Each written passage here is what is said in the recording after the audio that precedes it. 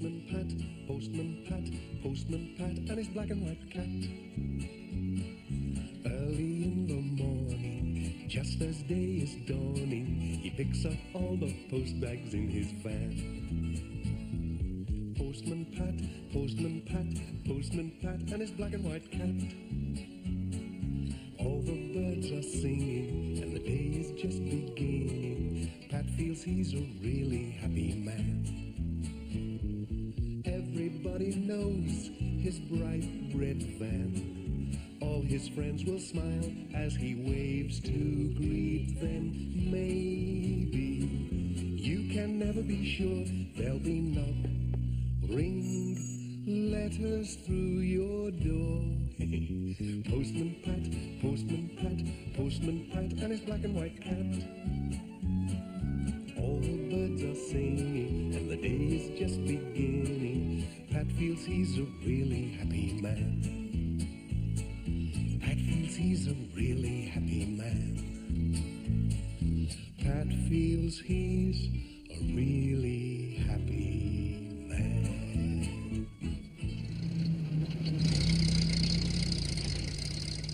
One sunny morning, Pat was hurrying along the road with a van full of letters and parcels for the people of Greendale.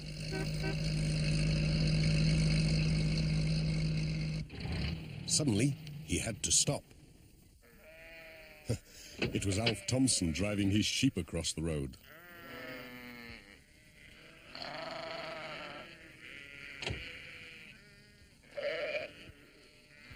Don't worry, Jess. They won't eat you. The sheep went into a field, and Pat was on his way again.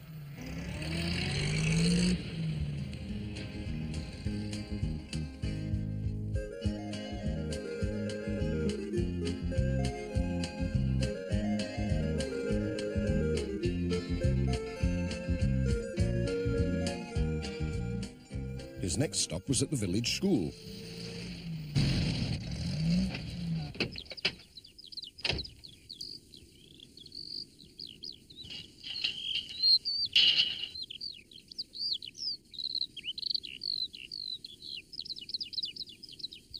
Where is everybody? The children were bringing things to school for a display. Charlie Pringle had a bunch of flowers. Lucy Selby had brought a basket of eggs. My, your hens have been busy. And Tom Pottage had some day old chicks. Hey, mind how you go. Whilst looking at all these things, Pat had forgotten his letters. But Bill Thompson came along with a cup of tea. Thank you, said Pat. And Bill took the letters. Sarah Gilbertson came for his cup. Have you done? she said. Nearly. Thanks, Sarah. That was grand. Goodbye.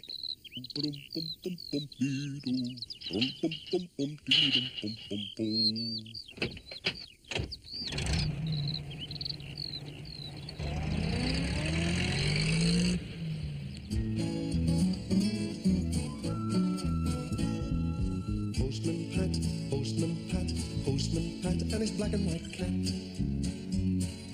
Early in the morning, just as day is dawning, he picks up all the post bags in his van. Postman Pat, Postman Pat, Postman Pat, and his black and white cat. All the birds are singing, and the day is just beginning. Pat feels he's a really happy man. Everybody knows his bright red van. All his friends will smile as he waves to greet them. Maybe you can never be sure there'll be knock, ring, letters through your door. Postman Pat, Postman Pat, Postman Pat, and his black and white cat. The birds are singing, and the day is just beginning. Pat feels he's a really happy man. Pat feels he's a really happy man. Pat feels he's a a really happy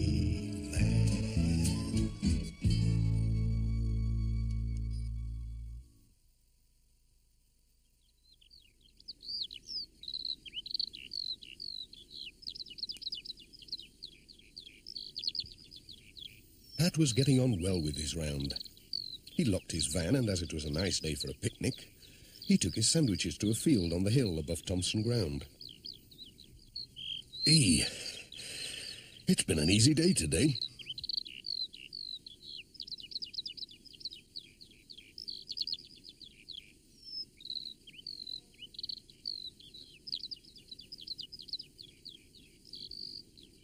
It was so warm that Pat soon fell asleep.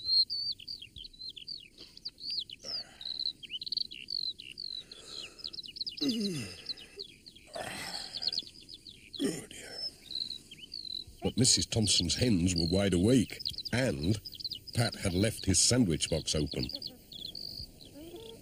with his keys neatly beside it.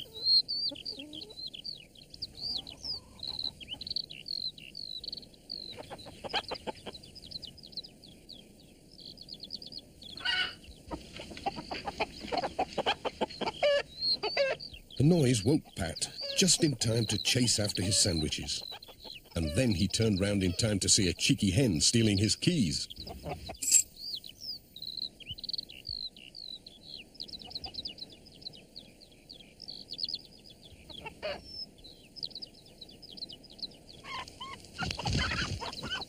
Oops!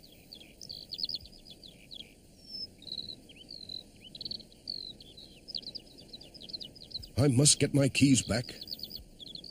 I can't open the van or deliver my letters without them. Oh, so that's where you've got to. Oh dear, it's a long time since I climbed a tree. But here goes.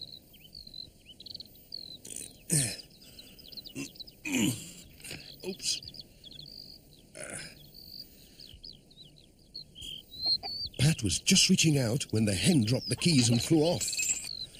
Now the keys were stuck in the tree, and as Pat was climbing towards them, the branch gave way and. Whoa! Oh! Right in the middle of a prickly bush. Ouch! Mrs. Thompson had heard the commotion and came to see what was going on. Pat told her about the thieving hen. Dearie me, said Mrs. Thompson. The little devil. She must think she's a magpie or some such. We'd better get a ladder and see if we can reach your keys. There'll be no more post today unless we can, said Pat. That won't do, said Mrs. Thompson, especially when I'm expecting a letter from Auntie Jean to say whether she's coming for Easter or not. So they went for the ladder.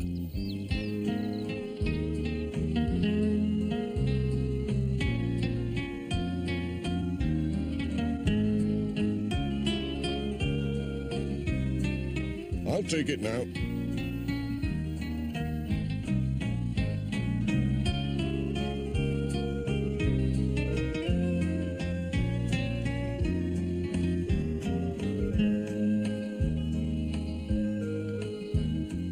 They're here, all right. Look, I've got them. There's something else up here. Lots of things. It's like a magpie's nest. My.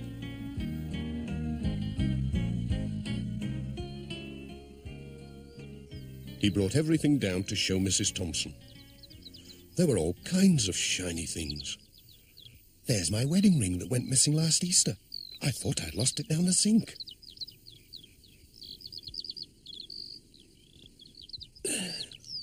That's all right. Uh, I'll get it down. Mind your head.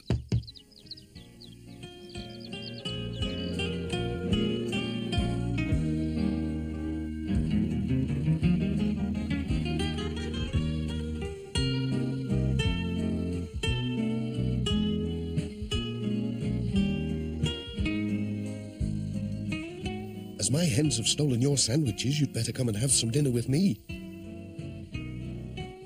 There's plenty to spare. That's very nice of you.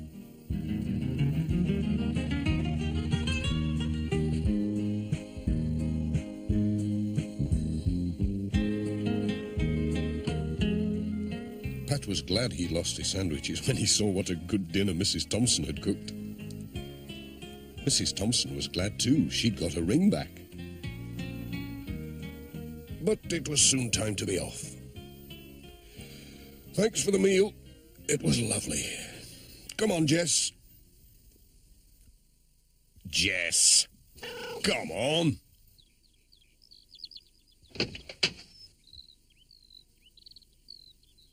Just fancy that. A magpie hen. Who ever heard of such a thing?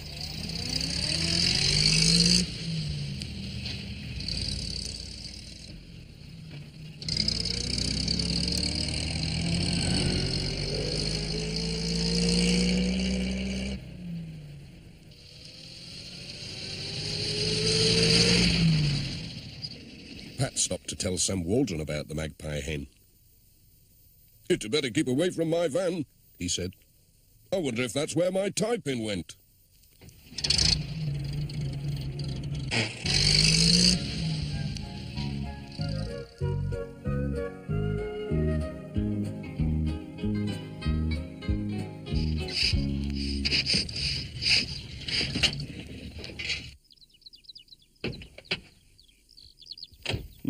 Sounds odd. Oh, just needs a clean.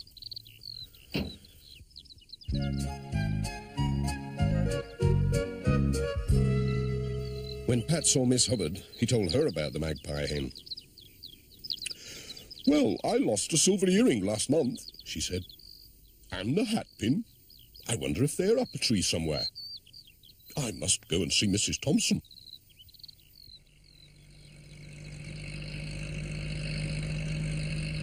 On the way home, Pat met Alf Thompson on his tractor and stopped to tell him about the magpie hen. Alf couldn't think of anything he'd lost, but he thought it was a good story. Pat had a letter for him. Ooh, one for me. I'll not lose this anyway. Cheerio. Bye.